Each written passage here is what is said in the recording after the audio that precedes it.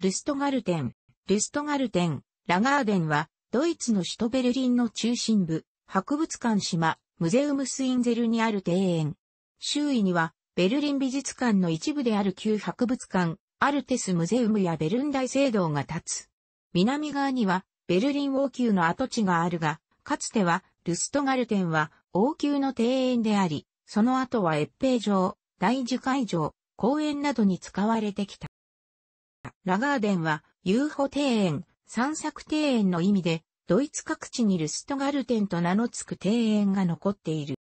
ルストガルテンのあるシュプレー川の中州は、かつてフィッシャー島、フィッシャーニャッセル、漁師の島と呼ばれており、その南側にはベルリンとタイをなす、双子の都市ケルン、CLLN、後にベルリンに吸収されたがあり、中央部には後にベルリン王宮となるブランデンブルク辺境博のベルリン市場が立っていた。その北側、中央部の一部も含め博物館島と呼ばれる地区は湿地帯とみられ、フリードリヒ二世鉄馬工が新しいベルリン城を築いた15世紀中頃の記録には、この場所に何があったかについては言及れていない。1573年、ヨハン・ゲオルクが王宮を拡張した際にこの地は王の菜園となった。台所で使う野菜のほかハーブなどの薬草や果樹が植えられたが、17世紀前半の30年戦争により、ドイツもベルリンも廃した。戦後、フリードリヒビルヘルム大戦帝公は、市街の復興と再開発に乗り出す。この時、フリードリヒビルヘルムのオランダ出身の妻、ルイーゼ・ヘンリエッテ、オラニエ公、フレデリック・ヘドリックの娘は、王宮の菜園をオランダ風の庭園へと改造した。1646年、彼女は軍事技術者、ヨハン・マウリッツ、ヨハン・モリッツと庭園設計家、ミハイル・ハンフ、ミカエル・ハムフと共に、菜園後に、幾何学的に配置された小径や噴水を設け、ルストガルテン、散策庭園と名付けた。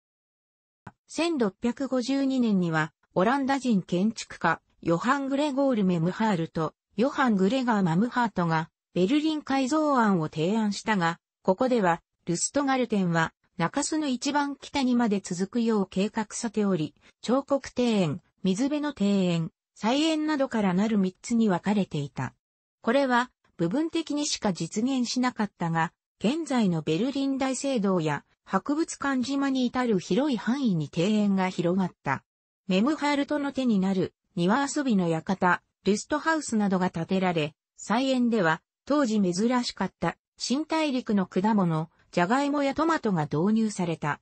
1656年から1658年にかけてベルリンを取り囲むように両保式城郭と堀が建設されたためルストガルテンは削られた。また同じ時期、1657年に、プロイセンの博物学者、医学者、ヨハン・シギスムン・エルスホルツ、ヨハン・シギスモンド・エルシュルツが、ルストガルテンの責任者となり、ここを一流の植物園にしていった。自由に出入りできるルストガルテンは、市場や教会前の広場しか集うところのなかったベルリン市民に人気の集まりの場となった。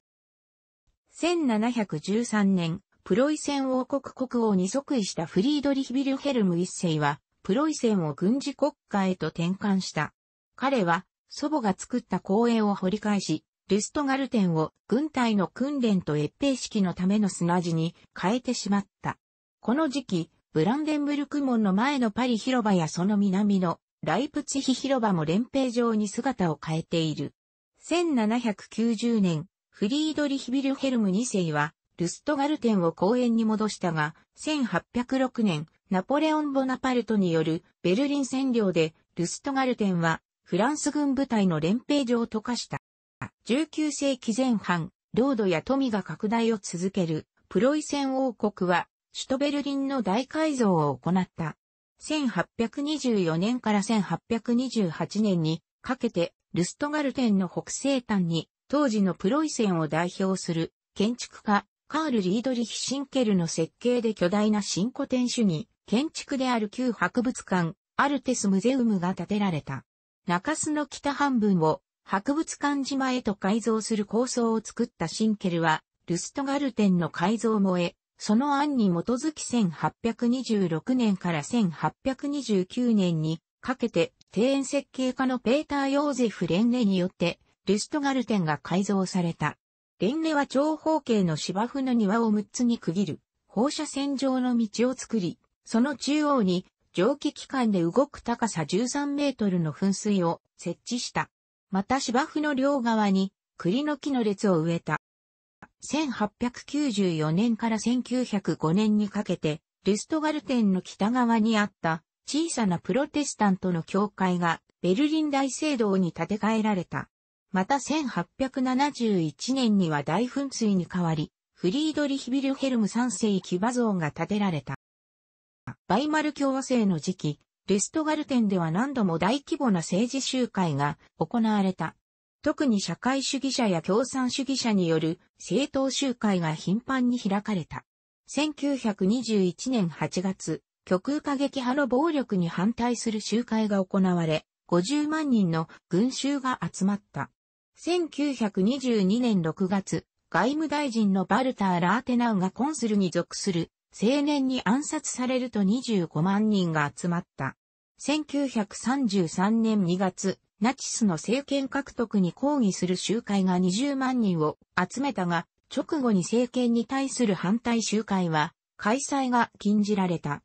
1934年には、ルストガルテンは舗装され、騎馬像も移転され殺風景の広場とな、アドルフ・ヒトラーによる大集会が何度も開催された。